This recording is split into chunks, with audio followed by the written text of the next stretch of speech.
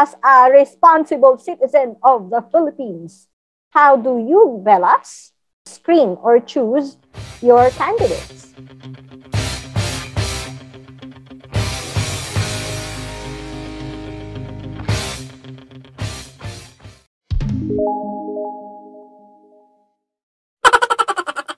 choose between lesser evils. As, uh, uh, we have to strip the candidates of their names and just focus on their accomplishments.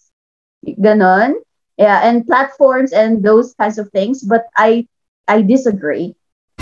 I disagree about stripping their names. Why? Because there's so there's such a thing as a name value.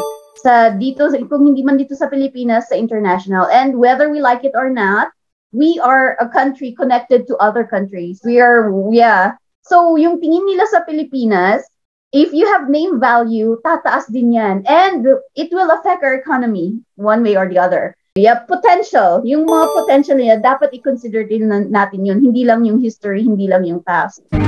Para sa'yo, ang pag-ikot ng panahon, laging may magandang umagang baon. Kaya now, ang ginagawa ko, well, ay, yes, yung uh, campaign platform nila, tapos yung achievements of accomplishments. Uh, ano, nagbabasa-basa muna ako ng anything about them. So I'm still in that gathering process of information and then deciding who to choose uh, in the end. Basta alam ko na ginawa ko ang research ko and then I believe in that person's uh, what he stands for or what she stands for. So, yun. Nangyari sa akin, pwede rin mangyari sa inyo. Wala nang imposible. Ako kayo, hindi sumusuko. Pag titingnan mo lahat, parang wow, kaya nga ba? So talagang sobrang kailangan aralin, no? Okay, fine, payayamanin mo ang mga Pilipino. Paano? Okay, fine, bibigyan mo ng bahay. Paano? So ang dami, no? Kailangan talagang tingnan ng maigi kung yung mga pinagpa-promise ba nila eh sobrang um, kung paano nila nga ba gagawin yan. Edukasyon Plus, ang tunay na solusyon laban sa kahirapan. Kalingiping! yung ugali niya. So, so sorry naman, doon pumapasok yung heart ko eh. I, I'm trying to use my brain, pero pumapasok yung heart ko pagdating sa ugali. ano, ayoko talaga yung yung yung iba yung pananalita ng ibang tao, ng ibang candidates. Eh, etong mga nagrarally na ito, mga bobo at mga tanga ito eh. Kasi very clear, very clear na ang violations ni Sereno. Ikaw ang bobo! Maliwanag, ikaw bobo! yung standard ni Duterte, syempre na-experience ko. Nakita ko kung ano yung yung mga ginawa ni Duterte. Na-witness natin kung ano yung mga nagawa niya at mga pangit niya din ginawa. yung platform, saka yung history kung ano yung mga nagawa na nila. And then yeah, it's also good to uh, learn more about the about our candidates.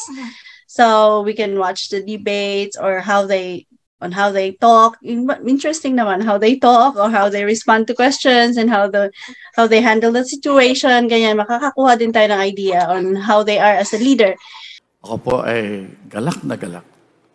Kasi uh, wala pong uh, wala pong level ng edukasyon ang pinag-uusapan dito. May pinag-aralan, walang pinag-aralan, mayaman, mahirap.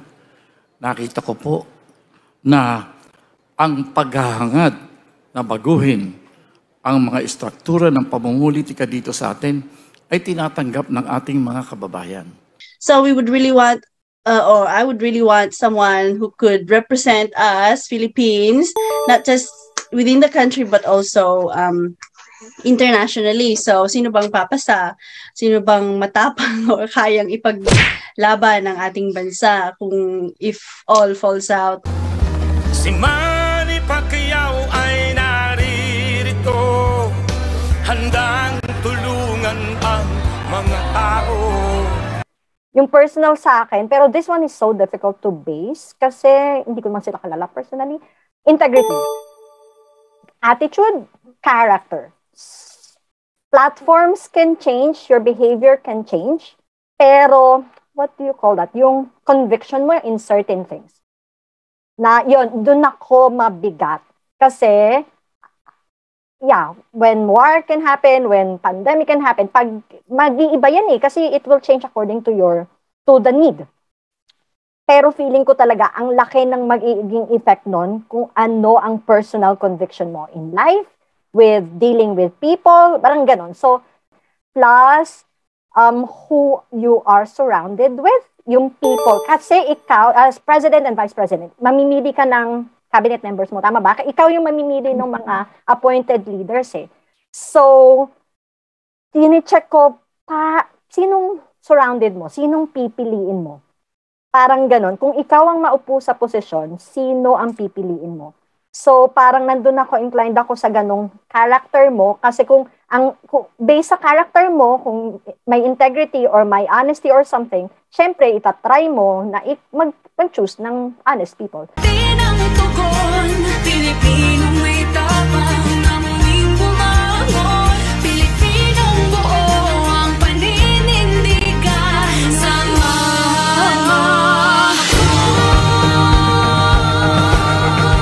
like any other kind of job. So you have to screen based on their qualifications. And uh, yeah, we've mentioned a while ago that um, politics is bad. So we want to bring back the trust in the government. So I am inclined to someone who is in that platform, Gobierno Tapat. Nakadecide na ba tayo? Kung gusto nyo malaman ang bet ng mga beloveds, comment down below. We'll really have the courage to tell you guys sino. Okay. so, yeah, sana'y natuto tayo or nagka-open mind. Open mind ka po ba? Ayan, so natuto tayo at I know na mahal natin ang Pilipinas and gusto natin ang the best sa sa country natin.